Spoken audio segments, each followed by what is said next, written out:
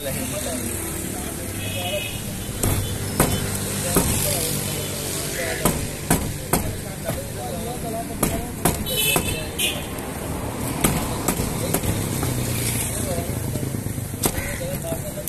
ਉਹਨਾਂ ਨੂੰ ਹੁੰਦੀ ਜਿਹਨਾਂ ਨੂੰ ਗੰਦਾ ਰੱਖਿਆ ਹੁੰਦਾ, ਇਹਨਾਂ ਨੂੰ ਮਾਸ਼ਾਅੱਲਾ ਸਾਫ਼ ਰੱਖਿਆ ਜਾਂਦਾ।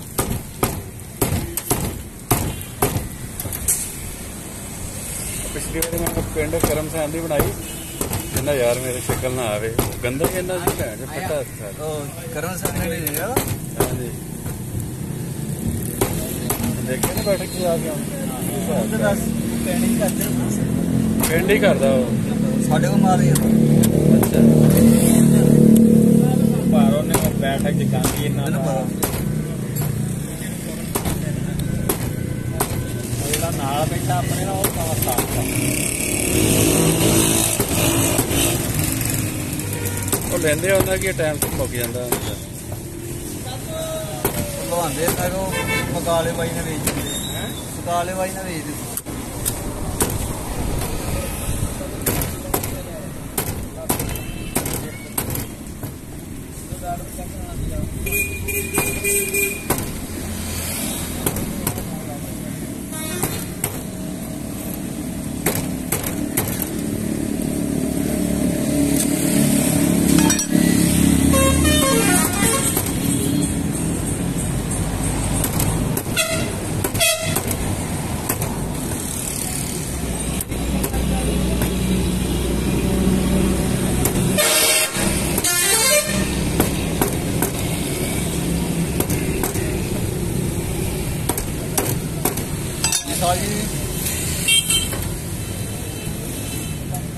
ਇਹਨਾਂ ਨੂੰ ਵੀਰੇ ਸ਼ੇਕ ਬੈਗ ਬਣਾ ਦੇ। ਸ਼ੇਕ ਬੈਗ ਬਣਾ ਦੇ। 5 ਕਿਲੋ ਗੋਸ਼ਤ ਯਾਨੀ ਕਿ ਤਿੰਨ ਤਿੰਨ ਪਾ ਕੇ ਬਣਾ ਪਾ ਕੇ ਨਾ। ਤਿੰਨ ਤਿੰਨ ਕੋ ਆਪਾਂ ਪਾ ਦਿੰਦੇ ਹਾਂਜੀ ਪਾ ਦੇ।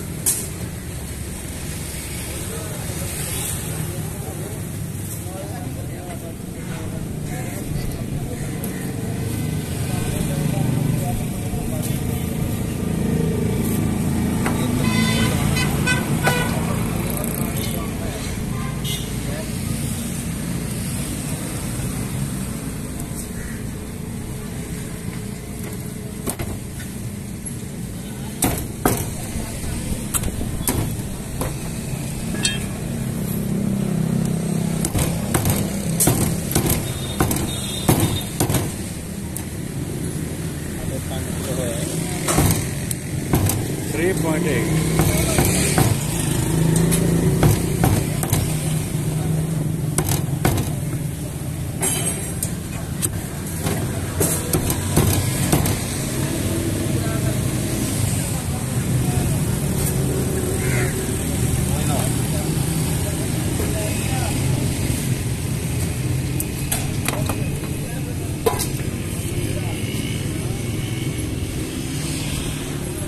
ഓക്കെ സായി ഇവിടെ ഇതായതറ ഇവിടെ മറ്റേ തെൽപ്പാണ് പോയിട്ട് ഷോപ്പിൽ പേടുന്നത് കിണക്കണ്ണ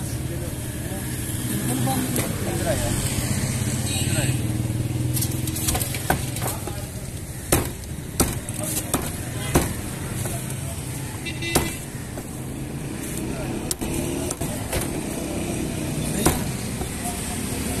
Buradan da çalışıyorum.